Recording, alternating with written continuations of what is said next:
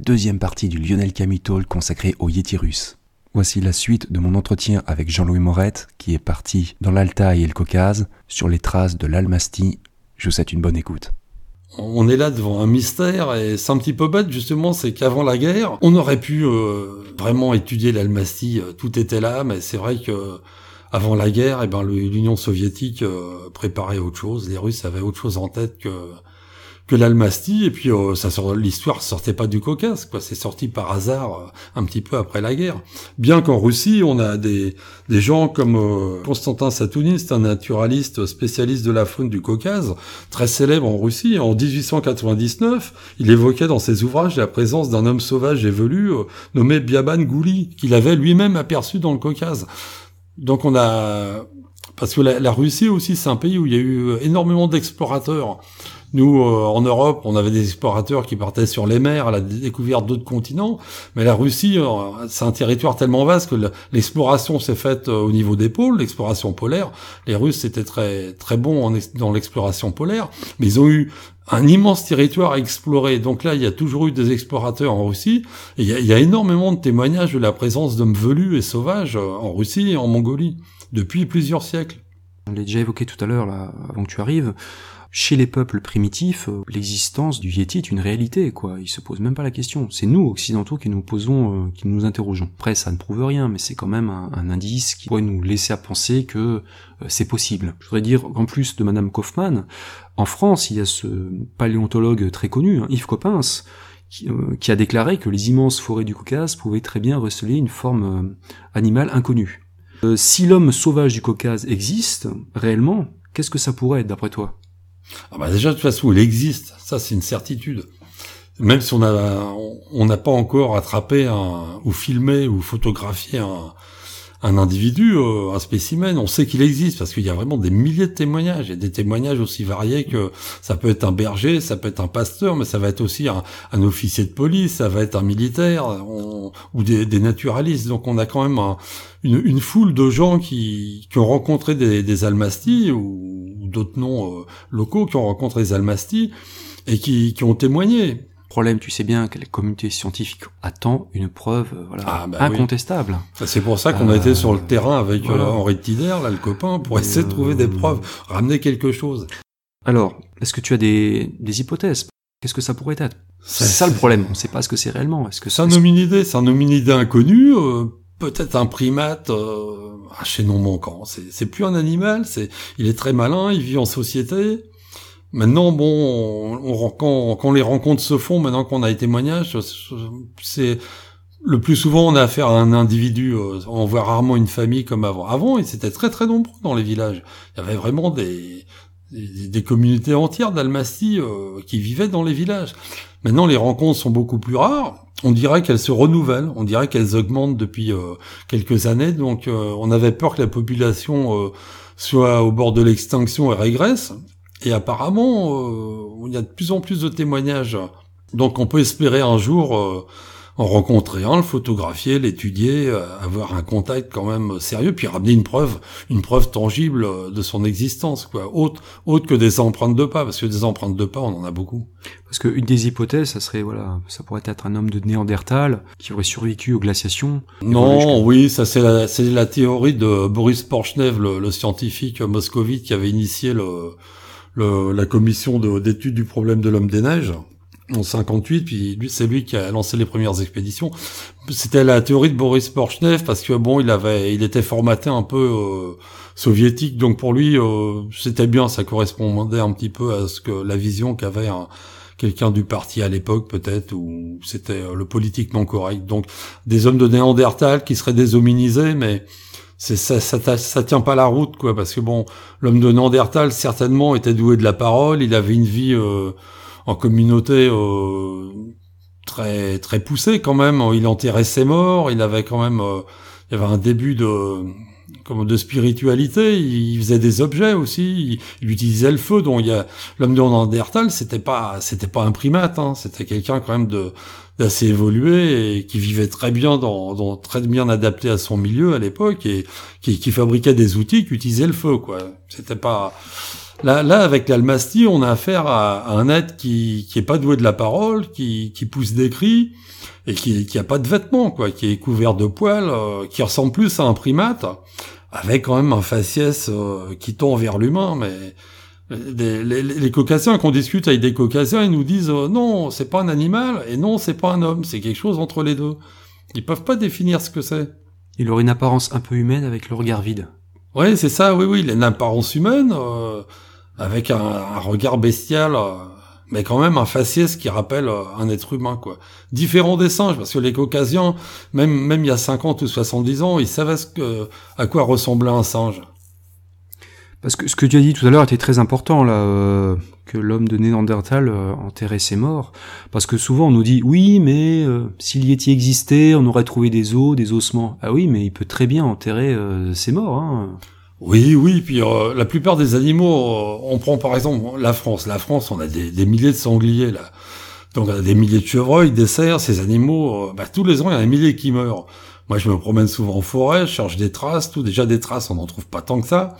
J'ai jamais trouvé un squelette de sanglier, on trouve jamais un squelette de renard où à un moment la nature reprend ses droits et puis le, tout, tout, tout, tout animal mort, tout disparaît, même les ossements, ils s'enfouissent, ils finissent aussi par, par être rongés par les bactéries. Euh, et dans le Caucase, nous on a, on, on a beaucoup, beaucoup exploré les grottes, euh, dans, dans l'Altaï aussi. Bah, justement, on espérait trouver un squelette, un squelette de cette créature, d'Almastie. On a trouvé des squelettes euh, d'êtres humains ça, on en a trouvé dans des grottes. c'est assez marrant. On a trouvé des squelettes de, de chauves-souris, des choses comme ça, d'animaux qui ont été mangés par d'autres animaux. Mais c'est rare de trouver, c'est très rare de trouver un squelette dans la nature, très rare. Pour revenir à la plongée sous-marine, c'est pareil, il y a des poissons qui meurent de leur belle mort, on trouve pas de squelette de poisson. Moi j'en ai vu une fois un squelette de mérou. Mais tu sais pourquoi? Ah oui. Parce que le, parce que le squelette de Mérou pète. Ouais.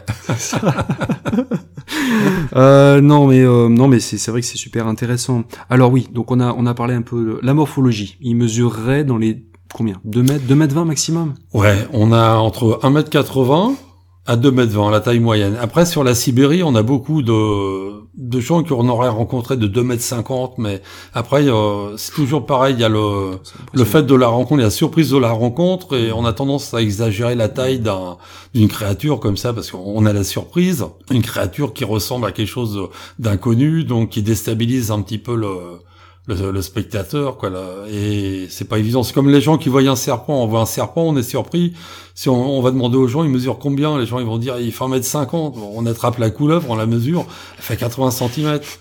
Et c'est systématique. Les gens qui n'ont pas l'habitude de, de mesurer les serpents comme ça dans la nature donnent une taille toujours supérieure. Et certainement que pour l'almastie, c'est pareil. Quelqu'un au coin d'un bois qui, qui rencontre un almastie de 2 mètres, il va peut-être dire, il fait 2m50. Mais la moyenne, c'est entre 1m80 et 2m20. C'est quand même supérieur à, à la taille euh, moyenne des gens. De toute façon, les policiers le savent bien. Euh, le témoignage euh, oculaire est vraiment très très fragile. Hein. Ah oui, oui, oui. Mais j'ai vu même dans la plongée. C'est incroyable. On prend cinq plongeurs qui voient la même chose. On a cinq témoignages différents. Alors le Menk, la créature qui vivrait plus au nord dans l'Oural, elle, elle pourrait mesurer jusqu'à 3 mètres. Hein. Donc là, c'est impressionnant. J'imagine, tu tombes là-dessus, ça doit être... ouais, 3 mètres, il y a peut-être l'abus de vodka. peut-être. Alors oui, sur, euh, on a vu les caractéristiques physiques un petit peu. Au niveau du comportement, alors moi, euh, dans ma présentation un peu générale sur le Yeti, euh, bon, il est très puissant parce que c'est une très forte musculature, très rapide. J'ai lu qu'il pourrait courir jusqu'à 45 km heure. Et il est très, il, disparaît très rapidement à chaque fois. Il a une faculté pour disparaître c'est pour s'évaporer hein, en quelques secondes. Hein. Bah, comme comme tout euh, comme tout animal, on pourrait dire même si c'est pas un animal, si c'en est un, ça sera un animal euh, qui appartient aux classes supérieures.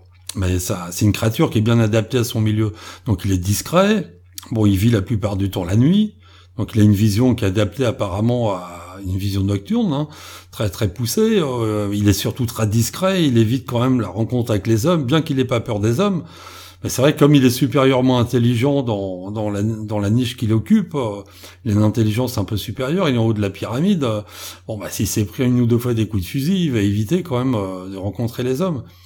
Mais on a une créature qui est particulièrement bien adaptée à son milieu et qui est, qui est tout en haut de, de l'intelligence. Hmm. C'est un prédateur, hein, faut dire ce qu'il est. Hein. C'est un prédateur, ouais, qui, c'est un opportuniste. Il va manger un peu de tout. Il, il est quand même, euh, il est omnivore. On peut dire qu'il est, il a le même régime alimentaire que l'ours. Il bouffe des cerfs, hein, je crois. Hein. Il s'attaque. Euh, je sais que j'ai entendu ça dans l'Oural beaucoup les cerfs et il a une prédilection pour les organes vitaux un peu. Euh, oui, c'est ça, mais il est opportuniste, je pense. Il va, il va manger des baies, il va comme un ours. Hein. Non, c'est pas spécialement carnivore, mais s'il peut mettre un campeur euh, à son menu, pourquoi pas. Mais tu sais qu'il y a, on n'aura pas le temps d'en parler là, mais euh, il y a quand même eu des cas d'attaque. Euh. Donc il faut le rappeler, le Yeti russe a priori est bon, il est plutôt pacifique. Hein. Il, y a il y a quand même des témoignages d'agression, c'est rare, mais il y en a eu. Hein. Alors, tiens, moi, je, tant que j'y pense, parce que c'est très d'oublier de le dire, euh, je sais que, par exemple, au Canada, le Sasquatch ou le Bigfoot, il y, a eu des cas de jet de pierre. Apparemment, euh, il a tendance à... Oui, oui, l'almastie aussi, hein, c'est déjà arrivé. Hein. Euh, ou des kidnappings d'enfants, euh, des femelles peut-être en mal d'enfants, justement, qui, qui prennent un gamin comme ça, puis on, a retrouvé le gamin mort, mais... Oh. Mais pas assassiné, quoi, mort, tombé, peut-être une chute. Quand mort, hein, c'est... mort, quoi. c'est horrible. Bref. Euh, qu'est-ce que je voulais dire Il y a des gens dans le Caucase qui en ont peur. Hein. Moi, j'ai ah bah, rencontré des gens qui m'étonnent. C'est normal, hein. c'est terrifiant. Hein, je veux dire. Euh, euh... Et donc sur le, le, cas des jets de pierre, il y avait un chasseur justement, je me rappelle d'avoir vu ça, un, un chasseur canadien qui, qui, témoignait. Il disait que bon, effectivement, on peut rencontrer des ours. C'est vrai que la confusion est possible avec un ours. Enfin, je veux dire, sur les, je pense des fois il y a des confusions parce que l'ours peut se dresser, marcher à deux pattes. Mais un ours, a priori, euh, c'est rare qu'il jette des pierres. Hein. Oui, puis de toute façon, les, les, locaux, il faut, il faut savoir une chose. Euh, déjà, nous, on fait pas, on, on ferait la différence, nous, euh, hommes des villes euh, ou des champs, on ferait une différence entre un ours et puis un, un primate inconnu ou un hominidé comme ça, euh, velu, inconnu. Euh. Mais euh, les locaux, ils savent très bien faire la différence. Ils, peuvent pas confondre un ours et puis quelque chose comme l'almastie. C'est pas possible. Non, mais c'est ce que ce que disent les sceptiques à chaque fois. Tu oui, sais. oui, bien sûr. Mais même un enfant, un enfant de 4-5 ans, il fait la différence entre un singe et un ours. Donc, il faut se dire qu'un qu'un chasseur professionnel en, en Russie fait la différence. Un policier, un militaire, pareil. Ah oui, c'est ça. Et qui est plus un naturaliste. Ce sont des personnes très équilibrées, et là on peut pas remettre en doute euh, la, la sincérité de leur témoignage. Hein. Oui, ouais, euh, très équilibré, on sait pas, mais...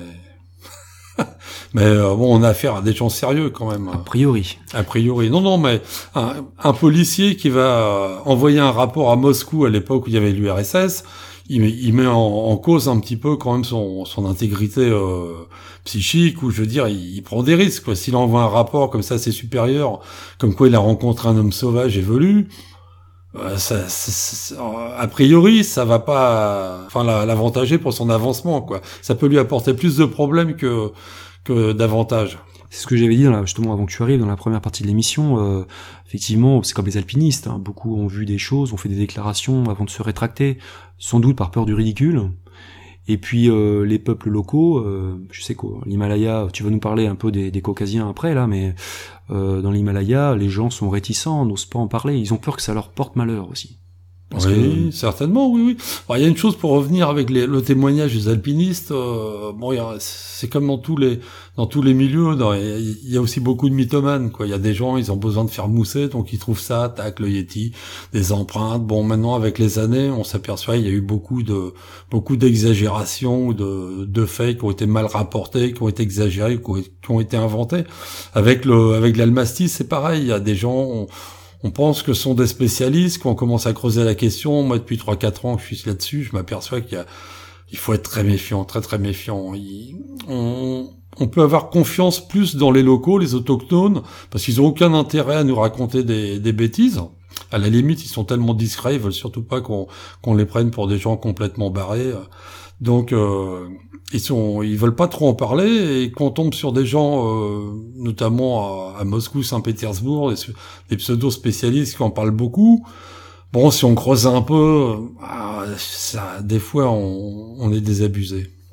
Bah, de toute façon, c'est toute la complexité du phénomène. Il est pollué par des faux témoignages, des canulars. Il est très dur de faire la part des choses et puis de distinguer le vrai du faux. Hein. C'est pour ça qu'il faut aller sur place. On ne peut pas se contenter de lecture, qui plus est de témoignages qui datent quand même des années 60, euh, 80.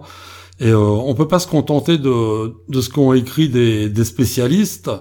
des pseudo spécialistes. Il faut il faut aller sur le terrain, il faut enquêter euh, soi-même. Et là, c'est plus difficile. C'est une excellente transition que tu fais là, parce que justement, on va parler des préparatifs de tes expéditions. Alors on peut démarrer déjà par la zone. Non Comment est-ce que vous avez choisi ta première expédition Voilà, on va, on va, commencer par la première. On va on va procéder par ordre chronologique. Donc voilà, quand est-ce que tu y allais Comment voilà Moi, au départ, euh, et le copain Henri, j'avais dit, il nous faut aller dans le Caucase parce que le Caucase, c'était quand même la c'est le, c'est le berceau de, de l'hominidé relique en Russie. Le, le Caucase, c'est là, c'est la zone géographique où il y a eu le plus de témoignages. C'est la zone géographique où on a toujours des témoignages. Moins qu'avant, mais ça arrive régulièrement, quasiment tous les ans, il y a des témoignages. Le Caucase, est-ce que tu peux préciser pour les auditeurs où ça se situe à peu près hein? Bah, le Caucase, ça se situe euh, tout à fait au sud de, de la Russie. Hein, c'est le, c'est le, et puis au nord de la, la Turquie, ça touche l'Iran, ça touche la Turquie euh, au sud.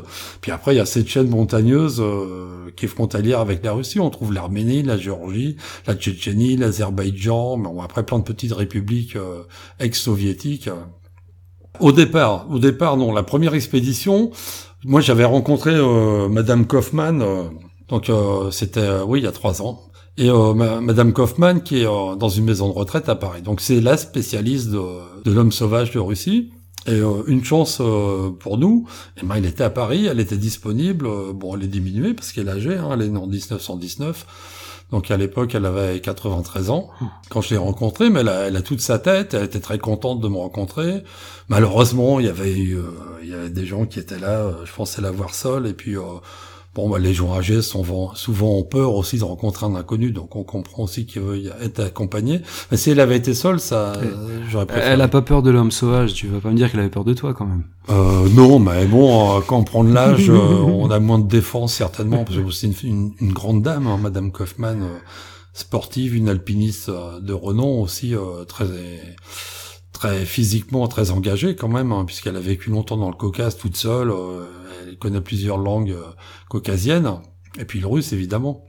Mais bref, euh, j'ai rencontré cette dame et quand je lui ai dit, euh, quand je lui ai raconté, évoqué notre projet, Madame Kaufmann, je lui ai demandé est-ce qu'on va dans le Caucase, Kabardino-Balkari par exemple, là où elle avait passé le plus de temps. Elle m'a dit non, vous posez votre doigt n'importe où en Russie et vous avez une chance de rencontrer l'homme sauvage. Vous en aurez pas plus au Caucase que dans l'Altaï ou en Sibérie. Et le fait est que l'ami là qui vivait en Russie, Henri Tider, lui le Caucase, il y avait été plusieurs fois, il avait envie de changer d'air un peu, il a dit bon on va aller dans l'Altaï, une région qui est à la frontière du Kazakhstan et de la Mongolie, et on s'est dit euh, c'était le sud de l'Altaï. La zone qu'on avait euh, privilégiée, c'était donc euh, dans l'Altaï, au-dessus du kraï de, ça s'appelle le kraï de l'Altaï. Hein, c'est au nord-est du Kazakhstan et au nord-ouest de la Mongolie. Et c'était une zone, euh, a priori, où il y a beaucoup de témoignages qui étaient intéressantes. Et puis, euh, bah, c'est c'est l'Eurasie un petit peu, donc c'était intéressant pour nous aussi de voir des gens différents de, du Caucase. Là, j'ai la carte sous les yeux. Là, c'est vrai que le désert de Gobi n'est pas loin. Hein ah si, il est loin parce que sur une carte, euh, non mais enfin pas loin. Tout paraît petit, mais on voit le Kazakhstan, par exemple, le Kazakhstan, ça fait sept fois la France. Donc moi, j'aimerais bien monter une expédition au Kazakhstan. Mais c'est problématique parce que les distances sont énormes. En Russie, les distances sont énormes. Nous, pour aller euh, dans l'Altaï, euh, il nous a fallu trois jours de train, un demi jour là, c'est un, train de un train de nuit. Vous êtes, alors, excuse-moi. Donc pour aller dans l'Altaï, concrètement, vous avez pris un vol de, t'as pris un vol de Paris? Ah, Moi, j'ai fait Paris-Moscou. À Moscou, j'avais le copain qui me réceptionnait. Donc lui, il parle russe couramment, sa femme est russe, donc c'était facile. Lui, il avait tout organisé. Et euh, mais l'organisation est relativement facile si on, on manie la langue de Tolstoï.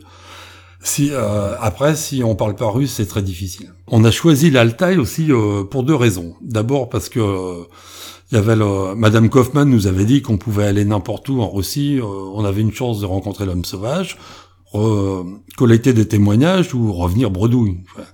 Et on s'est dit l'Altaï est intéressant aussi parce qu'il y a quelques années dans l'Altaï, il y a des, des, des, des, chercheurs, des scientifiques qui ont trouvé la grotte de Denisova. Et la grotte de Denisova, ils ont trouvé un troisième type humain. Mais un, type humain, quoi. Donc on sait que maintenant il y a l'homme de Neandertal, l'homme de Cro-Magnon, et il y a eu aussi l'homme de Denisova, un troisième type humain qui vivait en Europe. Donc on a pensé que euh, l'homme sauvage évolue euh, de Russie, cet hominide inconnu, pourrait être un descendant justement de l'homme de Denisova. Donc partir de, de cette base de Denisova, c'était très intéressant pour nous parce qu'on explorait un petit peu une nouvelle piste. Et puis l'Altaï, il y avait quand même énormément de témoignages d'hommes velus dans l'Altaï. Donc le problème pour nous, c'était de se rendre euh, jusqu'à la grotte de Denisova. Et si sur Internet on trouve des photos de la grotte de Denisova, pour aller là-bas, c'est beaucoup plus beaucoup plus difficile. C'était en quelle année ça? La grotte de Denisova? Non toi quand tu y allais. Ah nous on y était, c'était en 2013. Quelle période? Ah nous on a été de, de, de la fin mai à la fin juin. On y a été un mois exactement. D'accord. Et là-bas, c'est quoi? C'est le. bah, C'est le printemps, printemps même l'été. Hein, c'est- ça Ouais, commence. On a eu du beau temps. Nous on a un peu de pluie, mais c'était Conditions climatiques agréable. euh, agréables alors. C'est agréable, sauf que Ouais. comme c'était un petit peu, euh, c'est les contreforts de l'Altaï. Bon, c'est pas très très haut. Hein, c'était une zone de 1200 mètres, 1500 mètres, mais les, les nuits étaient vraiment très très froides. Quoi. On a un vent qui venait de de, de l'Altaï, des montagnes là qui descendaient, et moi j'ai eu froid.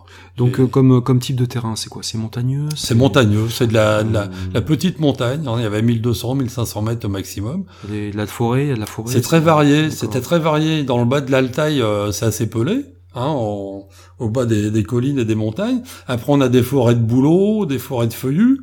Et après, on passe à des forêts de conifères, de mélèzes, où on retrouve vraiment la montagne. Bah, beaucoup de ro- grottes, beaucoup de roches, de rochers. Donc, un, un terrain, quand même, on sent qui est, qui, qui, qui est agréable pour un almasty, quoi. C'est assez désert, j'imagine. C'est peu peuplé. Bah, la, la Russie, c'est assez bizarre. On a des zones, euh, c'est peuplé dans les vallées. On va trouver des plein de petits villages partout. Hein, c'est rare de dans les vallées, il y a du monde, il y a des routes, il y a l'électricité. Hein, c'est un pays civilisé la Russie. hein. Il y, a, il y a pas de problème, même si c'est pauvre. Des fois, les gens vivent dignement, durement, mais dignement toujours. hein. Tout est bien tenu. Et comment dire, euh, mais dès qu'on monte, dans- dès qu'on s'éloigne un petit peu de ces villages, euh, dès qu'on sort des vallées puis qu'on va en altitude, là on est dans des zones où il y a personne. Il y a vraiment personne.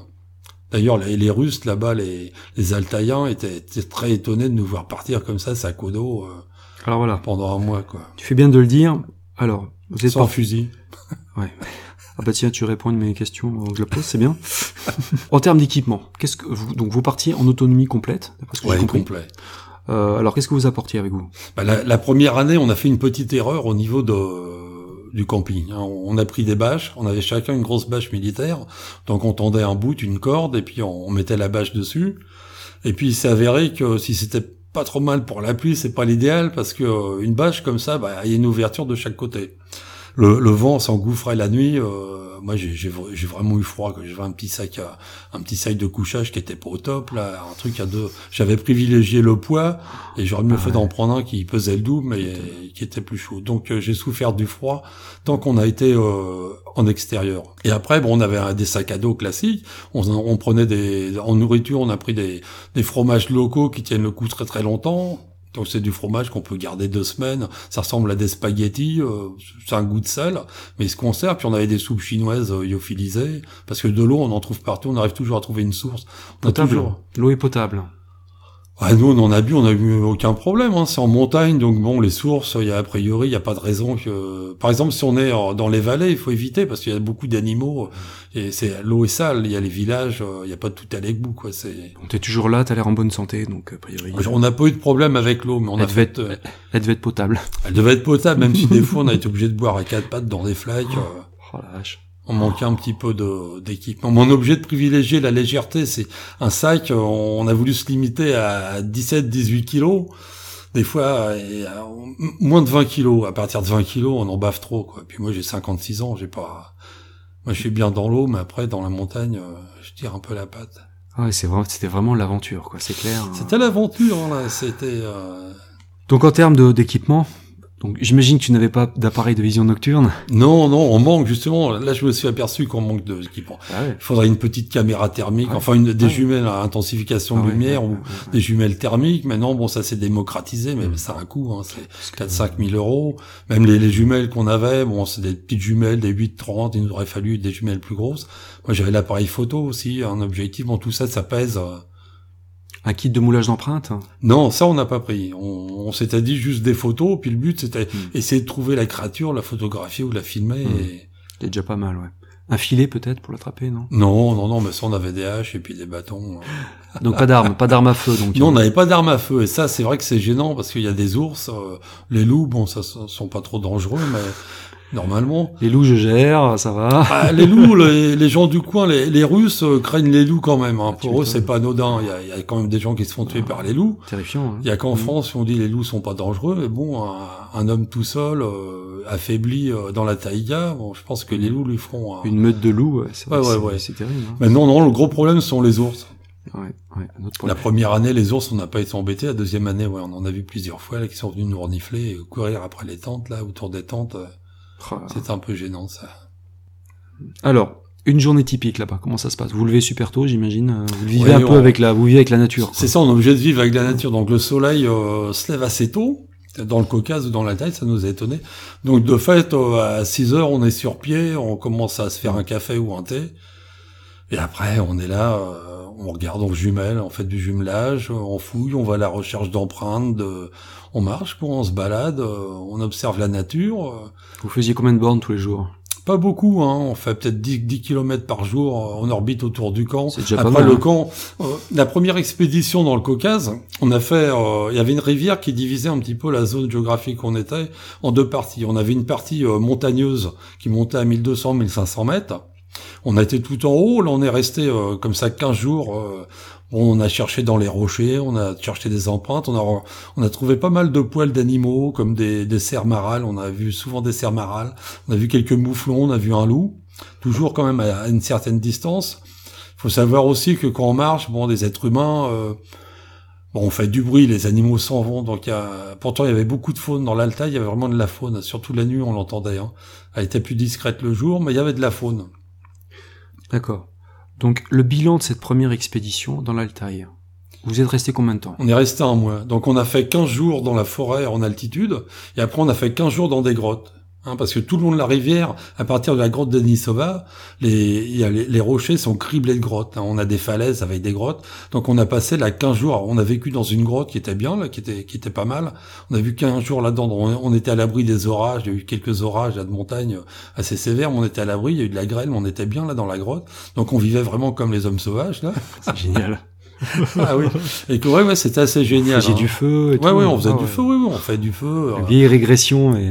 Ouais, complètement. Mais c'est bien parce qu'on est en complète symbiose avec la nature. Ça fait du bien. Ouais. Et ça fait du bien. Puis c'est là où vraiment. On... Quand c'est temporaire, ça va. Ouais, oui, c'est ça. Au, bout d'un mois, on est content de trouver. Euh, c'est génial, putain. De prendre une douche. Moi, franchement, euh, voilà, j'aurais de l'argent, hein. j'aurais de l'argent, un peu de temps, euh, je... ça, me, ça me tenterait à fond, quoi, de faire ça. Quoi. La Russie, il y a un pays cher. Ça doit être absolument génial de faire. Enfin, moi, je sais que je kifferais à fond ce genre d'expérience. Mais c'est bien. Hein. Ouais. Donc, alors. Euh... Donc là, dans les grottes, bon, on a trouvé des petits squelettes d'animaux, des, des, petits rongeurs, des choses comme ça, des oiseaux, des. Des squelettes d'humains, tu disais. Hein non, les humains, on les a trouvés l'année dernière, cette année, cette année là, dans le Caucase, où on a exploré des grottes où on a trouvé des crânes, des ossements oh, divers. A priori, d'après les locaux, c'est des les sites enterraient leurs morts ou les déposaient dans des grottes. Euh, à peu près 1500 ans, quoi, 2000 avant Jésus-Christ. C'était les précédents explorateurs, en fait, qui étaient partis ouais, en recherche d'Almastie, tu vois, euh, faut les avoir retrouvés. Donc les archéologues en, russes ont fait beaucoup, ils ont fait toujours beaucoup d'expéditions dans le Caucase ou, ou, ailleurs, parce qu'en Sibérie, on trouve beaucoup de choses. Hein. Donc, euh, un mois dans l'Altaï et vous êtes revenu bredouille. Hein. Ouais, on est revenu bredouille mais avec des témoignages euh, des gens, des locaux. Donc ça nous a permis quand même d'avoir une première approche des, des difficultés, surtout rencontrées lors d'une euh, une prospection comme ça, la recherche de, de l'homme sauvage. On s'est aperçu que les, les Russes ou les, les locaux n'en parlent pas beaucoup. Alors on tombe sur des gens qui en parlent beaucoup, souvent sont des Russes de la ville qui sont venus s'installer, donc eux ils sont très ouverts. Mais par exemple les Altaïens, eux, sont très réticents à donner des informations. Ou alors les, les, les Russes qui vivent là-bas depuis des générations, bon ils vont nous dire oui la montagne il faut éviter d'y aller, on voit des choses. Euh, eux ils y vont pas. Bon il y a quelques chasseurs qui y vont, mais bon ils disent il y a des trucs, euh, ils sont très réticents pour en parler. Et, la, la, la, la, superficie, la zone géographique où vous, vous avez un peu rayonné, c'est quoi? C'est la taille d'un département français, c'est quoi Non, non, non, non, parce qu'on était à pied, donc euh, nous on faisait des camps de base. On, faisait quoi? On a dû, euh, on faisait peut-être 10 km, 12 km par jour. Pas plus, hein, c'est de la montagne. Ce qui est pas mal en montagne, c'est bien ouais, On marche 5-6 heures, 5-6 heures, après il faut vite, euh, à partir de 17 heures, il faut vite faire un camp parce que la nuit tombe vite, ah. donc il faut pas être en train de ramasser du bois alors qu'il fait nuit, il faut, faut qu'on prépare tout ça.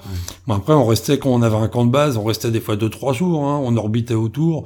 donc, euh, on met du temps à fouiller dans les grottes, c'est pareil. Hein. On met du temps si on veut bien fouiller les, grottes. Euh, elles sont difficiles d'accès. Hein. On passe du temps. Vous avez des torches, des lampes frontales, ce genre de choses. on avait ce qu'il faut en lampe, ça c'est facile, c'est pas cher. ça devait être quand même assez dangereux. D'après ce que j'ai compris, tu vois quand même physiquement, c'était quand même assez assez dur. Hein, c'est dur physiquement. On a quelques jours d'adaptation. Euh, puis je commence à prendre de, la bouteille. Moi, j'ai 56 ans. J'ai surcharge, surcharge pondérale, tout. Euh. Ouais, ouais. Moi, le copain, il a, il a 15 ans de moins. C'est pas pareil. Hein. Et il supporte mieux, lui, les efforts que moi. Moi, j'aime bien me poser de temps en temps. C'est vrai qu'effectivement, c'est vrai quand t'es dans l'eau, ça fatigue moins. Oui, c'est différent. Puis bon, euh, non, mais t'as quand même, ouais, t'as quand même la pêche, hein, c'est clair. Hein. Mais euh, là, là, on s'est aperçu aussi que bon, un mois, c'est trop court. Quand on fait une expédition, c'est trop court. Il faut, il faut pas être itinérant. Il faut un camp de base et puis euh, tourner autour du camp de base. Puis il faut du matériel. Le matériel, on l'avait pas.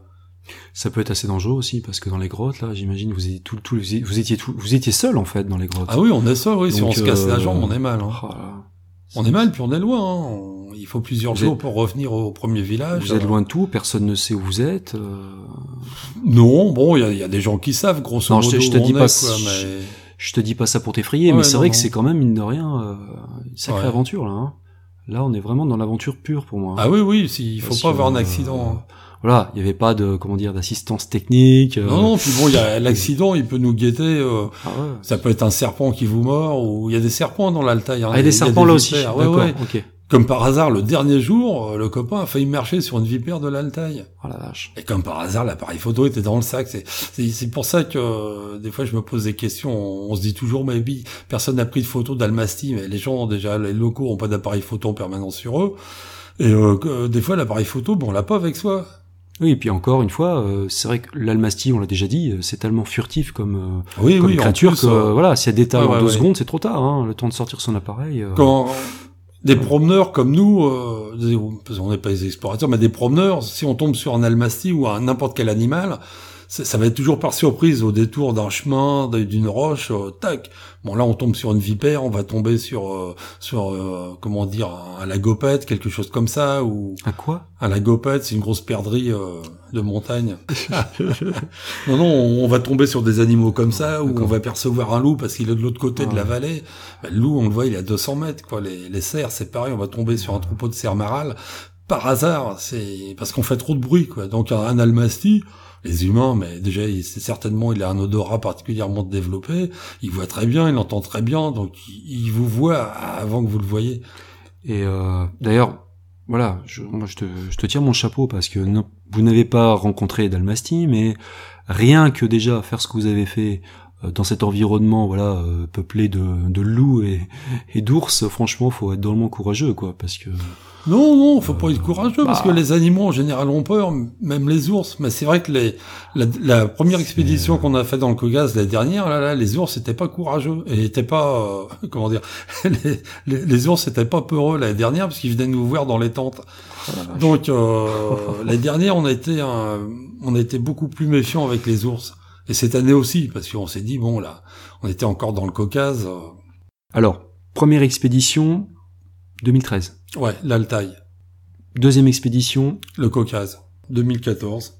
On était dans, dans le Caucase, on a choisi une, une région qui était intéressante aussi, c'était le long de la rivière Peshka, hein, c'est le kraï de Krasnodar. Tu es reparti toujours avec Henri. oui, toujours, toujours avec lui. Hein. Il fait quoi, lui C'est c'est pas indiscret. Lui, il fait plus rien. Il était banquier et puis maintenant il vit de ses rentes. D'accord. Et il vit en Russie ou il Non, il vit en France. en France, d'accord. Donc il voyage beaucoup. Il est resté 15 ans en Russie, il est marié à une Russe et il avait envie de changer un petit peu de. Et il Mais il aime toujours la Russie, hein, c'est mhm. toujours c'est. Mhm. Donc il est voilà, c'est génial quoi. Il, ouais, ouais, ouais. il est toujours prêt voilà. C'est difficile de c'est difficile de pas aimer la Russie parce que c'est un mhm. c'est un pays intéressant, les gens sont sont sympathiques, euh, il y a toute une culture derrière. Même si maintenant, bon, il y, a un anti-russe. Euh, je suis tout à fait d'accord. Depuis un an ou deux, là, c'est. Il y a une diabolisation, Enfin, bref, il y a une euh, diabolisation de la de la- Russie. euh, de la Russie, alors oui. que quand on est là-bas, on est dans un pays où les Ouais. gens sont ouverts. Bon après, ce sont c'est c'est la politique politique, internationale, mais je trouve pas ça très élégant. Je pense que bref, pour revenir à ce qu'on disait, le peuple russe, voilà, c'est un peuple euh, pour moi pour lequel j'ai beaucoup de respect. C'est une grande culture, euh, au même titre que les autres nations hein, de ce monde. donc euh, donc voilà. Donc j'imagine, moi j'ai j'ai jamais eu l'occasion d'aller là-bas, mais euh, voilà, pourquoi pas. hein, c'est vrai que ça me pique. Et c'est vrai qu'on a, ça me fait penser à ce que tu disais tout à l'heure. C'est un pays dont on a, on, on, on- on connaît peu de choses finalement. Hein. Parce que Euh, tu parlais des explorateurs russes tout à l'heure. Oui, oui, jamais il y a- d'eux. non, il y en a- eu plein. quoi. Il y a des, des Euh, grands des explorateurs polaires. Il y, a, hein. et il y a eu des, des grandes sagas de, de l'exploration polaire en Russie. Hein. C'était eux qui étaient le plus en avance. euh. Mais c'est vrai qu'ils ont un territoire tellement immense. euh, Il y a des savants, des scientifiques. euh. Bon, ils- on n'en voit pas des stations orbitales en lisant le journal. Hein. C'est il y a, y des cerveaux là-bas, il y a, il y a des gens très cultivés. Bon, au niveau, euh, au niveau des arts, Mm. c'est vrai qu'ils ont, ils ont de quoi, hein, les Russes. Et ils aiment la France, ils aiment les Français. Mhm. Certainement plus que les Français aiment les Russes, d'ailleurs, c'est assez paradoxal. Ils sont tout aussi estimables que les autres. Voilà. On referme la parenthèse. Géopolitique. On va revenir à nos, à nos êtres velus. Voilà, chers auditeurs, auditrices, c'est la fin de la deuxième partie du Lionel Camille Talk consacré au Yeti russe. J'espère que vous appréciez le voyage. On se retrouvera prochainement pour la troisième et dernière partie de mon entretien avec Jean-Louis Morette. Je vous dis à bientôt, et comme on dit en russe, dos vidania.